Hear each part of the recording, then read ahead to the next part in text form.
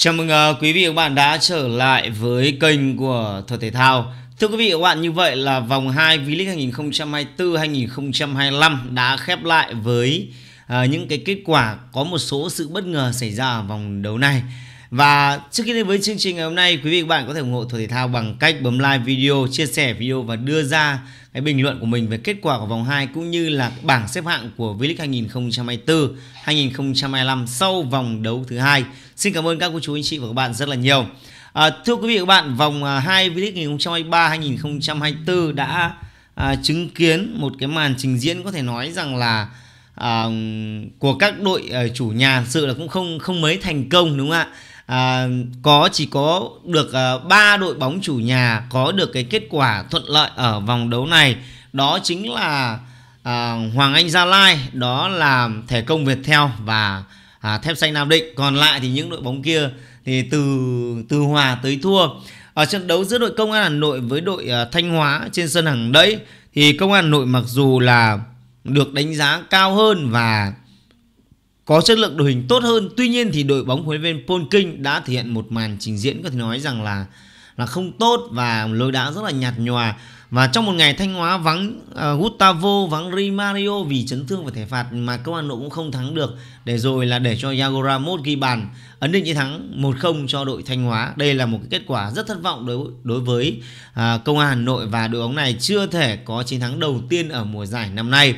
Trong đó thì Hoàng Gia Lai tiếp tục cái à, chuỗi ngày thăng hoa của mình sau chiến thắng 4-0 trước Quảng Nam thì trở về sân nhà Pleiku ở Hoàng Gia Lai gặp Sông Lam Nghệ An với một cái lối đá hợp lý và sự hưng phấn cao độ trong cách chơi thì Hoàng Gia Lai đã tận dụng rất tốt những cơ hội của mình để mà giành được chiến thắng 2-0 trước Sông Lam Nghệ An. Đây là một chiến thắng đầy toan tính cũng như là nhưng mà rất thuyết phục đối với à, đội bóng của huấn luyện viên à, Vũ Tiến Thành. À, BKMX Bình Dương sau chiến thắng ngược dòng trước Thanh Hóa ở vòng đấu trước thì đã có một trận đấu không tốt trên sân Gò Đậu khi mà tiếp đón Hải Phòng. Cho dù đã có bàn thắng à, dẫn trước à, do công của Tiến Linh trên chấm phạt đền, tuy nhiên thì sau đó à, uh, BKMX Bình Dương đã đánh mất thế trận vào Hải Phòng nếu như không có sự xuất của thủ môn Minh Toàn thì có lẽ là Bình Dương không có được một điểm ở trận đấu này đâu. Hải Phòng ở trận đấu này chơi rất là hay mặc dù đá trên sân khách.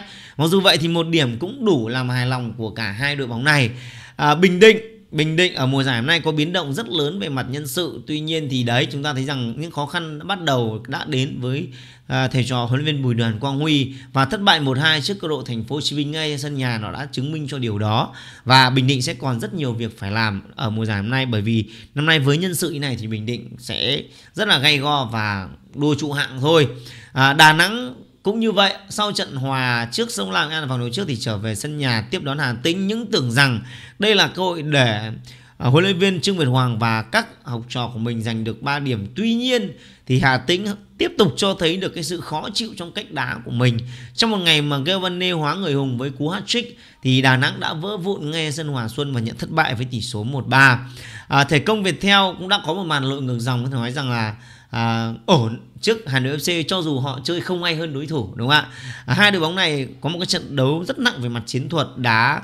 Nó cũng xem xem nhau nhưng à, Hà Nội FC là cái sai lầm của thủ môn Văn Hoàng đã khiến cho đội bóng này không thể nào mà có điểm ở trận derby và rất là tiếc cho Hà Nội FC nhưng cũng phải chúc mừng cho thể công với nhau vì họ cũng đã thi đấu rất lì lợm mới có được kết quả này.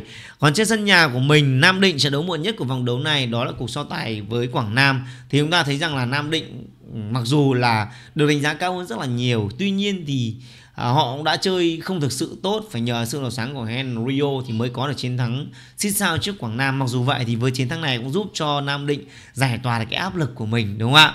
Thì sau vòng đấu thứ hai này thì cái bảng xếp hạng của V-League 2024-2025 như sau. Hoàng Gia Lai dẫn đầu với 6 điểm, đứng thứ hai là Hà Tĩnh 6 điểm, xếp thứ ba là Bình Dương 4 điểm, đứng thứ tư là Viettel 4 điểm, xếp thứ năm là Thành phố Hồ Chí Minh cũng với 4 điểm. Đứng thứ 6 là Hà Nội 3 điểm, đứng thứ 7 là Thanh Hóa 3 điểm, đứng thứ 8 là Nam Định 3 điểm, xếp thứ 9 là Hải Phòng 2 điểm, đứng thứ 10 là Công an Hà Nội 1 điểm, đứng thứ 11 là Đà Nẵng 1 điểm, xếp thứ 12 là Sông Lam Nghệ An 1 điểm. Và hai vị trí cuối cùng thuộc về Bình Định và Quảng Nam. Như vậy là sau hai vòng đấu thì có hai đội bóng toàn thắng là Gia Lai và Hà Tĩnh. Và hai đội bóng toàn thua là Bình Định và Quảng Nam. Thì Bình Định và Quảng Nam là đấy hai đội bóng toàn thắng hai đội bóng toàn thua lại là nằm trong cái nhóm mà là đua trụ hạng đấy, rất là bất ngờ đúng không ạ?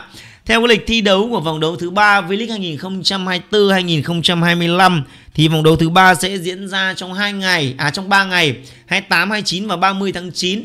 Trong ngày 28 tháng 9 trận đấu sớm nhất đó là cuộc so tài của Hoàng Anh Gia Lai với Nam Định vào lúc 17 giờ. Vào lúc 19 giờ 15 là Thể Công Viettel đối đầu với Quy Nhơn Bình Định. Trong ngày 29 tháng 9 chủ nhật thì Quảng Nam đọ sức với Đà Nẵng vào lúc 17 giờ. À, Sông Lam Nghệ An gặp Hà Tĩnh vào lúc 18 giờ. Thành phố Hồ Chí Minh đối đầu với Hà Nội FC vào lúc 19 giờ 15 ngày à, 29 tháng 9. Trong ngày thứ hai ngày 30 tháng 9 thì diễn ra hai trận đấu còn lại. À, Đông Á Thanh Hóa đối đầu với Hải Phòng vào lúc 18 giờ và trận đấu muộn nhất của vòng đấu này đó là cuộc so tài của Công an Hà Nội với Bình Dương vào lúc 19 giờ 15 thì cái nhận định của về các trận đấu này cũng như là cái thông tin liên quan đến vòng đấu thứ ba sẽ được thể thao cập nhật trong những chương trình tiếp theo của thể thao À, xin cảm ơn quý vị và các bạn đã xem video. Quý vị và các bạn có đánh giá gì về màn trình diễn cũng như là bảng xếp hạng của V-League 2024-2025 sau hai vòng đấu và dự đoán tỷ số của các trận đấu của vòng 3 thì hãy để lại ý kiến của mình phía dưới phần bình luận. Quý vị có thể đăng ký kênh và bấm chuông để nhận những video mới nhất khi lên sóng mỗi ngày. Xin chào và hẹn gặp lại lại quý vị bạn trong những chương trình tiếp theo.